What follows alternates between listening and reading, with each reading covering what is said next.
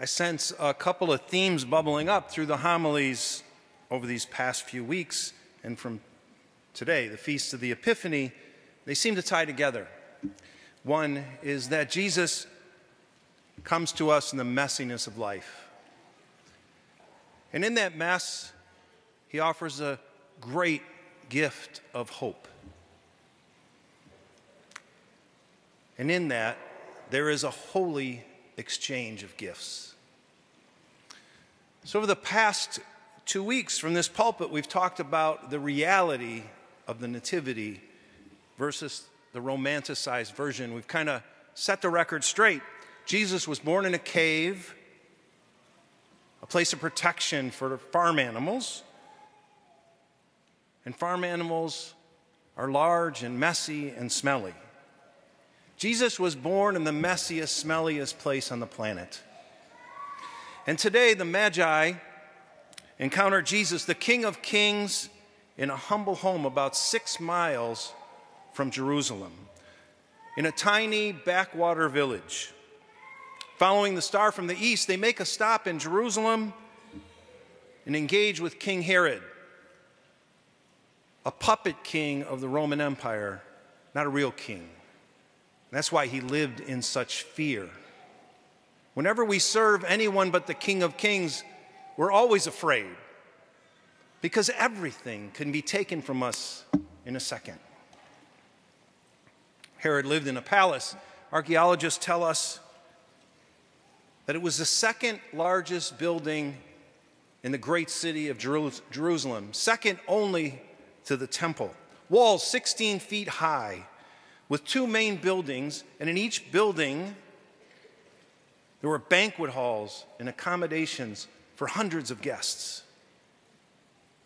The Magi leave the great city of Jerusalem, home to about 40,000 people, and they encounter the one true King, Jesus, who feared nothing.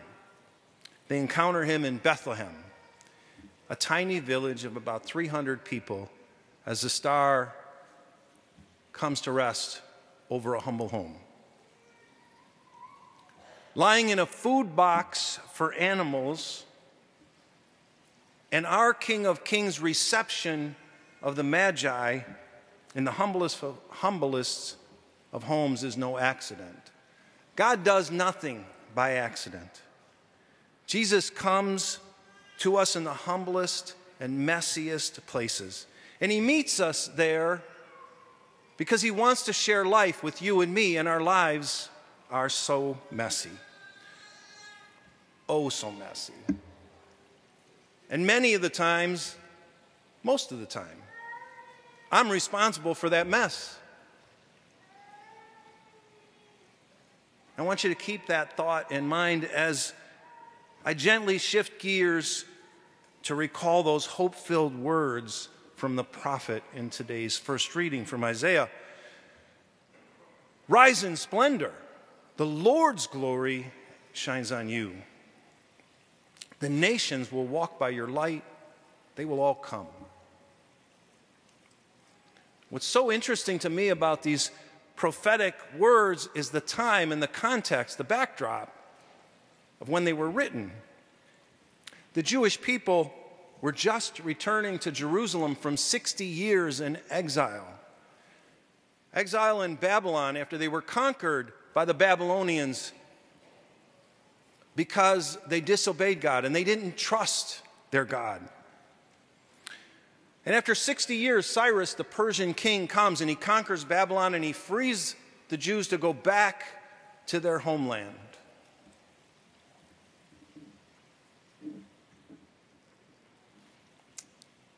Babylon was about 900 miles from Jerusalem. It was a trip that took about four months. And I imagine that after 60 years, that four months was spent in incredible anticipation. Imagine after that journey, they come to that hilltop and they finally look out and see their city and their temple in ruins. That's when those prophetic, hope filled words were spoken by the prophet. What incredible disappointment and remorse they must have felt. Knowing that the destruction that their eyes behold was a result of their actions, a result of their decisions. And we know that feeling, don't we? It's that moment that we come face to face with the destruction that we've caused with our words or something that we've done, the hurt, wounded relationships that are left in the wake of those words or actions. It's that epiphany moment when we say to ourselves, What have I done? What a mess I have made of this. Father John shared the lives of five people that were on his mind over the Christmas holiday in his midnight message. People were living lives of regret, lives that turned out oh so different than their youthful dreams for their lives. Five people longing painfully for the past, that time before they had made such a mess of things. And it's in that mess in that destruction that Israel, you and I, hear the prophet's message of hope. Rise up, rise in splendor, because it's the Lord's glory that shines on you. It is Jesus who's the light of the world, who shines through the mess of your life and mine. We are all broken. And I know one of two things can happen. I can continue to live in my regrets. And I've been there and I've done that, and that, brothers and sisters, is an, it's an incredible, hopeless feeling. Living like that feels like a dead man walking to me. Or I can choose to accept the gift of mercy and forgiveness, the gift that hope, uh, the gift of hope that Jesus brings, offering me a fresh start. And there is nothing more exciting than a fresh start, especially as I get older. And that's why I love the sacrament of reconciliation. It's a fresh start. I, truth be told, I haven't always loved it. It wasn't easy. It's not easy. Baring your soul, sharing your broken life with someone, it's not easy. I know that. But this I know I know that His mercy heals me. I have two choices dead man walking or allowing Jesus to raise me from that death by his incredible, endless mercy. In his homily in March of 2013, Pope Francis said this He said, It is not easy to entrust oneself to God's mercy because it is beyond our comprehension. But we must. It is not easy, but we must, or we are just dead people walking. Hope through God's mercy is life for me.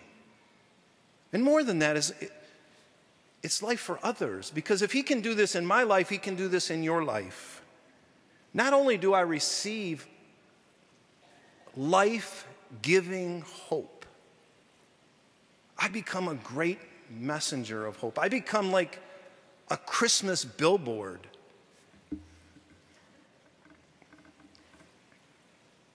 The Epiphany and the baptism of our Lord, which we celebrate tomorrow, brings a close to this Christmas season. And this week, Jeannie and I, along with I'm sure many of you, will start to take down our tree, decorations, and pack away our creche. And this, this is the manger part of the creche. This is the food box, the food trough, and the little the statuette of baby Jesus.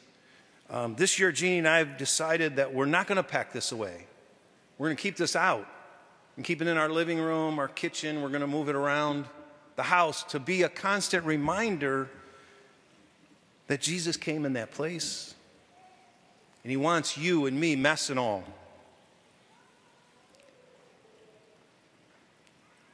That messed up part of our lives, I believe in my heart, is the greatest gift that we can offer our Lord Jesus. Which brings me to the final and obvious Christmas and Epiphany theme. It's a season of exchanging gifts. It's a tradition that comes from the scene in today's gospel this holy exchange of gifts. The greatest gift to the world, the one who is gift, is given gold. It's a gift of kings. It's given frankincense, it's incense to acknowledge his divinity. He's given myrrh, which is used in the embalming process, a gift for his suffering and death, from which the Father's mercy flows. In a few minutes, we'll approach this altar to receive the greatest gift of Jesus himself in the Eucharist. And the Magi brought gold, frankincense, and myrrh. What gift do we bring? What gift do we bring? Like I said, I believe the greatest gift we can offer Jesus is our brokenness. Why do I say that?